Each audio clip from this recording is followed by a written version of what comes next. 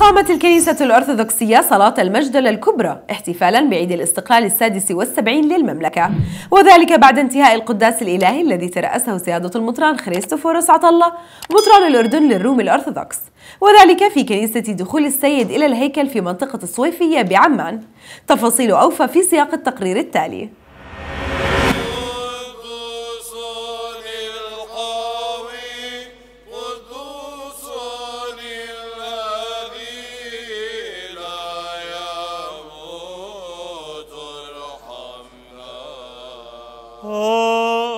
احتفلت الكنيسة الأرثوذكسية بعيد الاستقلال السادس والسبعين وذلك خلال قداس احتفالي أقامته في كنيسة دخول السيد إلى الهيكل في الصوفية حيث رفعت الصلاة تضرعا وابتهالا إلى الله العلي القدير من أجل أن يحفظ الأردن وقيادته الهاشمية الحكيمة وحكومته الرشيدة وشعبه الأمين. وقد شارك في الخدمة عدد من الآباء الكهنة بحضور وزراء وأعيان ونواب وهيئات دبلوماسية وممثلين عن رئاسة هيئة الأركان في القوات المسلحة الأردنية الجيش العربي ومديرية الأمن العام وشخصيات رسمية وعامه وسط حضور غفير من المؤمنين وحشد من أبناء الرعية. وبهذه المناسبة ألقى سيادة المطران خريستوفورس مطران الأردن للروم الأرثوذكس كلمة أشاد فيها بالوصاية الهاشمية التي يوليها جلالة الملك عبد الله الثاني للمقدسات المسيحية والإسلامية الذي يحمل المسؤولية التاريخية تجاه القيامة والأقصى. وقال سيادته إننا فخورون بما قدمه المسيحيون في هذا البلد مع إخوتهم المسلمين في معظم مؤسسات الدولة العسكرية والمدنية وفي القطاعات كلها بلا استثناء مجددين بكل فخر واعتزاز المبايعة والولاء لقيادة جلالة الملك ليستمر الأردن نموذجا يحتذى في وحدته وأمنه وإنجازاته الحضارية ومواقفه الإنسانية والوطنية الكبيرة.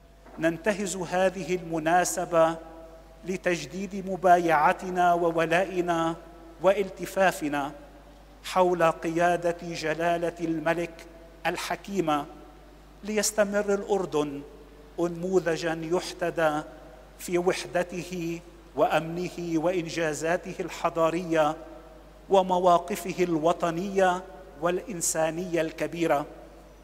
ولا يسعنا في الختام إلا أن نرفع إلى مقام حضرة صاحب الجلالة الهاشمية الملك عبد الله الثاني بن الحسين المعظم وولي عهده الأمين صاحب السمو الملكي الأمير الحسين بن عبد الله الثاني المعظم والعائلة الهاشمية الكريمة وقواتنا المسلحة وأجهزتنا الأمنية وحكومتنا التي نسأل لها التوفيق والخير والأسرة الأردنية الواحدة أسمى آيات التهنئة والتبريك بهذه المناسبة الوطنية الغالية عيد الاستقلال متضرعين إلى الله عز وجل أن يبقى الأردن دائما وابدا امنا قويا ومزدهرا. وكل عام وأردننا الحبيب بألف خير وسلام وبركة. وتحدث العميد الدكتور عبد الله غنمة ممثل رئاسة هيئة الأركان المشتركة باسم جميع زملائه الضباط شاكرا هذه اللفتة الطيبة والدعوة الكريمة متمنيا بهذه المناسبة العمر المديد لجلالة الملك وللأردن وشعبه دوام العزة والفخر. أولا اسمحوا لي باسم عطوفة رئيس هيئة الأركان المشتركة قائد الجيش وباسم زملائي ضباط الأمن العام وضباط قوات المسلحة بتقديم الشكر الجزيل على هذه الدعوة وعلى هذه الاستضافة بمناسبة عزيزة وغالية علينا وهي مناسبة استقلال المملكة الأردنية الهاشمية. وهذا صحيح مش غريب على النطرانية الأرثوذكسية اللي طول عمرها بتمثل عبارة عن شعلة متقدة من الوطنية. وبرضه مش غريب عن سيادة النطران خريستوفوروس اللي أنا بعرف بكل صلواته دائما بدعو لجلال سيدنا بدعو للجيش بدعو للأجهزة الأمنية وللأمن والأمان في البلد. فشكرا جزيلا على هذه الدعوة. اللي إحنا ضباط المسيحيين يعني انخراطنا في القوات المسلحة وفي الأمن العام منذ البدايات.